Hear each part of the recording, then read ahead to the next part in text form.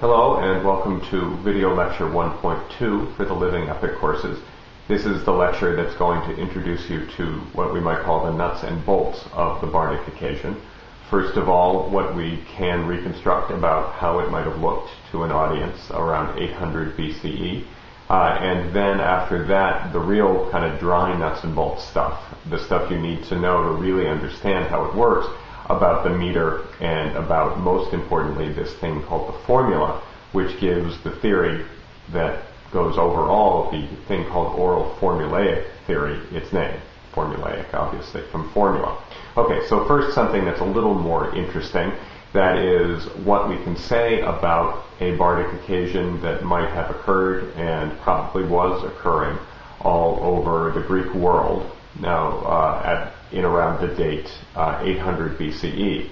Now, the tradition almost certainly stretches back one or two or three hundred years before then, um, during which time the myths that we know of as the most important of the Greek myths, the myths about Troy and the other wars that were eventually linked up within the tradition to Troy, especially a war at Thebes that's kind of shadowy because we don't have an equivalent tradition to the tradition of Homer about it. Um, but all of this is to say that from around 1200 BCE on, there are these stories, and that at some point between 1200 and 800 BCE, those stories begin to get formalized into a system of themes that a bard can sing on a given occasion when he's being uh, paid, prospectively, by, say, the lord of a manor. Now, a lot of this is conjecture. A lot of this has um, just enough archaeological evidence to make us think we couldn't be too far wrong about it. Some of it is comparative by looking at the way traditions like the Yugoslavian Bardic tradition worked. Um, but uh, it's always fun to try to recreate this uh, at the level of granularity where we start to feel our antiquarian passion come alive and we start to feel like we really know what it was like to be alive in 800 BCE. So it's definitely worth doing. So I invite you to imagine a guy with a lyre, L-Y-R-E, which is pretty much the equivalent of a guitar, um, sitting in front of an audience, maybe a little bit off to the side, because the main attraction would be the lord of the manor who is giving the feast. And throughout the feast, and this we know from the Odyssey, as you'll read in Odyssey Book 8, throughout the feast, the bard is singing.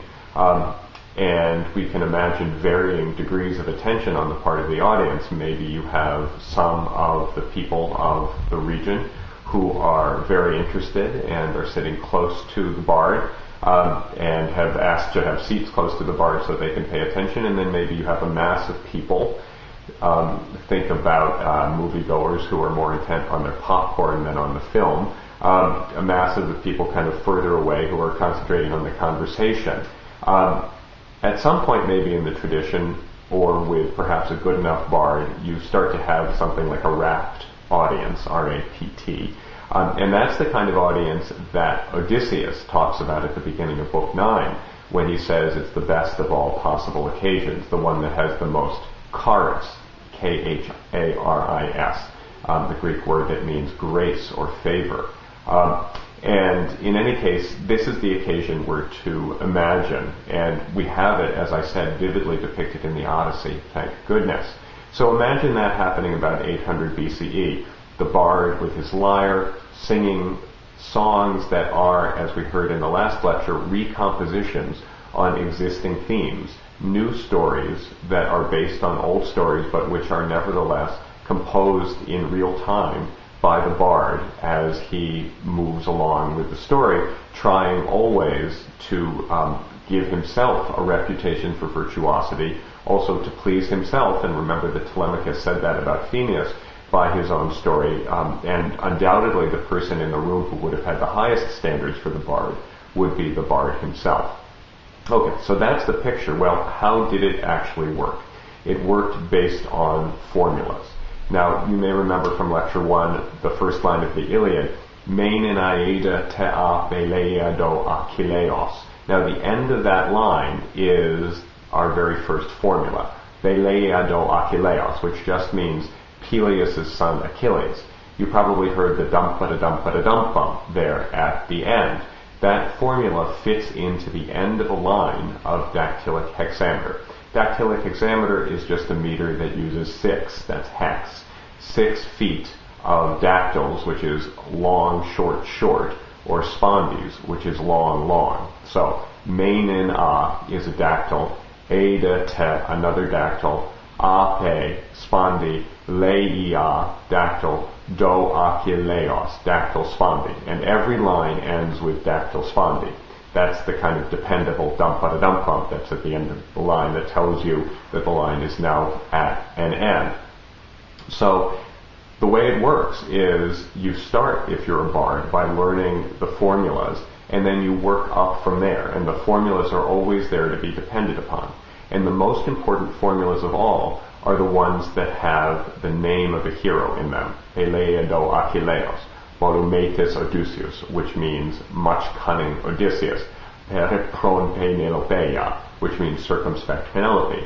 And you can tell that these become building blocks. And it's out of these building blocks through a process that would have taken years and years to master that a bard learned how to put a recomposition of these stories together. Now, as you'll notice as you're reading the Iliad and the Odyssey, these little formulas get built up into much bigger things, which tend to be called themes, which seem to be, and very often are, repeated literally from occasion to occasion.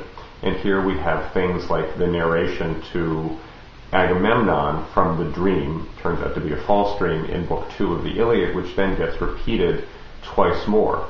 So that kind of repetition can happen.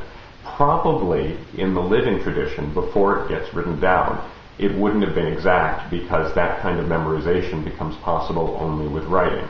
But that doesn't really matter much. What matters is that even if you're repeating things literally and long strings of lines literally, around those little literal repetitions evolve much more complicated ways and much more complicated innovations of telling the story. Okay, so there are the nuts and bolts in a nutshell, and this is the point to make again another little gesture towards video games.